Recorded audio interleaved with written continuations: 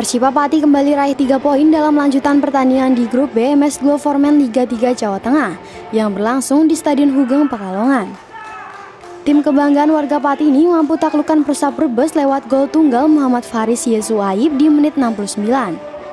Sepanjang pertandingan, jual beli serangan dilancarkan oleh kedua tim.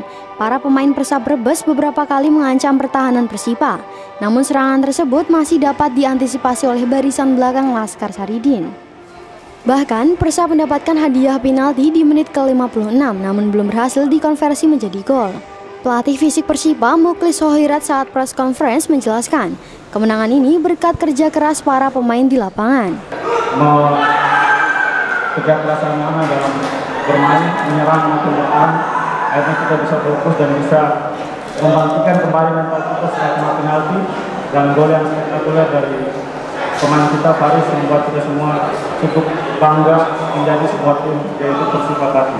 Sementara itu, Kapten tim Persipa Trihandoko mengatakan, pertandingan melawan Persab Brebes ini dirasa sangat menguras tenaga. Menurutnya, tim harus bekerja ekstra untuk memetik hasil positif. Trihandoko menyebut jika kemenangan ini tidak lepas dari doa dan dukungan masyarakat Pati. Uh, saling serang dan alhamdulillah dapat dengan ini tidak terlepas buat uh, doa dari masyarakat Pati ya terus mendoakan kita semua. Untuk diketahui saat ini Persipa telah mengemas 7 poin sehingga menduduki peringkat pertama sementara. Dari hasil dua kali menang, yakni melawan Slawi United 4-0 dan Persab 1-0, serta bermain imbang 0-0 melawan tuan rumah Persib Pekalongan.